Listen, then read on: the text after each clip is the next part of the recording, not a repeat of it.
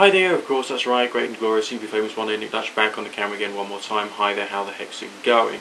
Um, still reading through the book by good authors, but with a bit of a new agey, not very nice title, if you get my drift. I mean, I don't, I, I because of the poor quality of writing and poor quality of science that goes into a lot of new age books to make claims that they've, you know, got the secrets of this, that, and the other.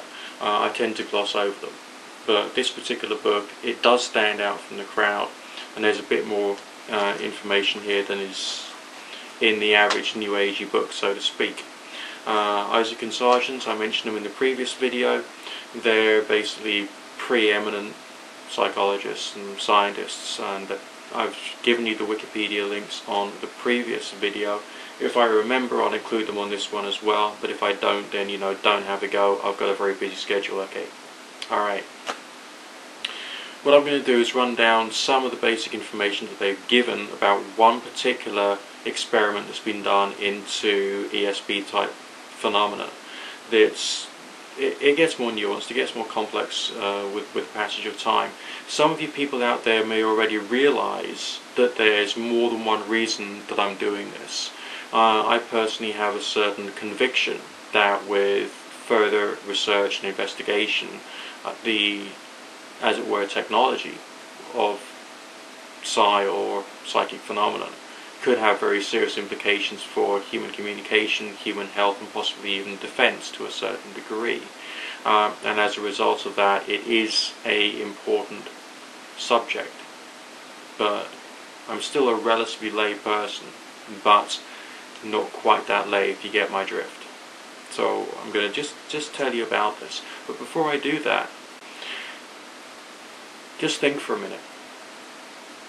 If you were a scientist investigating any phenomena, and there was a phenomenon that you wanted to investigate that could only be investigated with the help of statistical analysis, and you had performed a very good experimental design, you've made sure that your control condition is impeccable and that there's nothing which could interfere with it. You've collected your results perfectly from your control condition.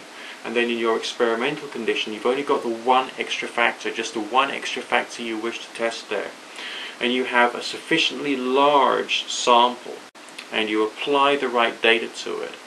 If you get a statistically significant result, then the chances of that particular phenomena in your experimental design actually being real is substantially higher than just chance.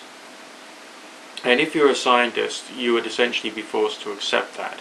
And if there was a vast body of hundreds or possibly thousands of similar experiments conducted by independent scientists throughout the world, independent accredited scientists throughout the world, you would have to consider this to be a large body of scientific information which would essentially go some way towards demonstrating the veracity, the truth about that particular phenomenon. You would just have to accept it. But essentially, that's what's already out there. The, the information is literally already out there. Okay, on with the subject of the experiment. This is this was done by Dr. Helmut Schmidt, who worked for Boeing in the, I think it was the 1960s. He created, created an automated PSI or psi testing machine which generated random numbers and registered the guesses and recorded what the guesses were. The whole purpose of the machine was designed to eliminate errors of recording and inconsistencies of method and other basically minor issues. And it was based upon strontium-90 and it would uh, involve a, a Geiger counter, the strontium-90 radioactive sample, and there will be some complex machinery which will then select numbers 1, 2, 3 and 4 depending upon uh, the particles that were emitted from the strontium-90. It was basically a perfect random number generator. Alright, and it was put through a lot of trial runs and was proven to be perfectly random. Okay. The purpose of the machine was to test um, precognition, or PK, which is to guess which uh, numbered lights would come up or to see which ones you could make light up in accordance with your own will. And subjects would press a button to register their, um, their guesses, and the machine was programmed to ignore pressing of two or more buttons at the same time, either by error or deliberately. So that's another variable which was taken out of the equation. And now, although uh, Schmidt found one subject who scored at a rate of 100,000 to 1 probability above chance, that subject unfortunately had to move away uh, for work purposes. So he then chose three more subjects. One was um, uh, a medium, one was a psychic um, skilled psychic development trainer, and a third was an amateur psychic.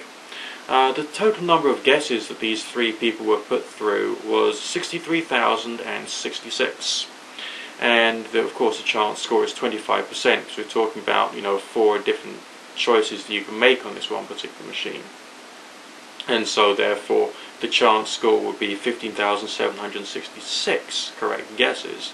But the actual correct guesses were 16,458, being 700% more than chance would predict, and the odds against this uh, being approximately or above 100 million to 1.